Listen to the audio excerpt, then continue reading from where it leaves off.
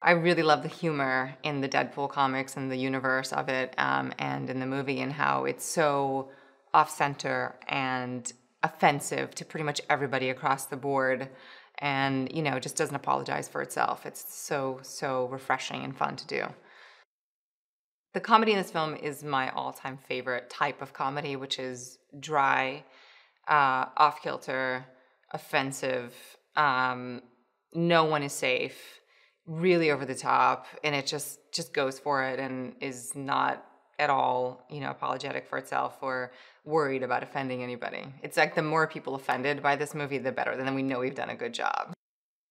Vanessa is incredibly different from any character i've ever played because she's a great combination of smart sexy cool tough uh, she's a guy's girl in a way, you know, but she's a woman. You know, she's not afraid of being who she is. And there isn't, you know, she's definitely had a hard life, but there's not like a desperation about her that is sad. You know, it's it, she's a fighter, and it's incredibly refreshing to see a female character in a superhero movie like this um, that is just as strong, you know, as the guy is.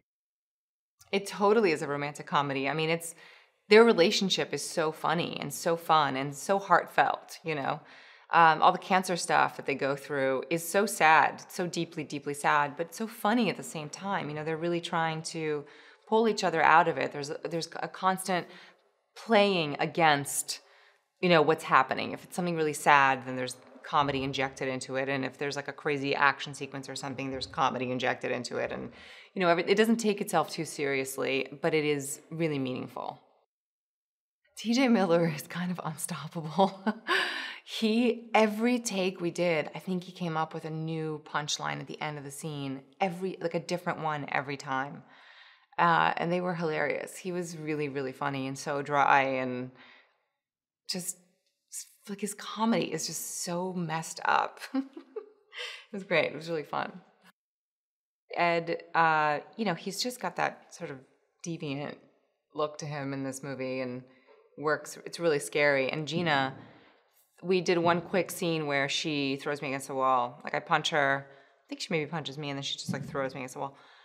She's so freakishly strong. I, I, I was like, how are you doing this? She was just standing there.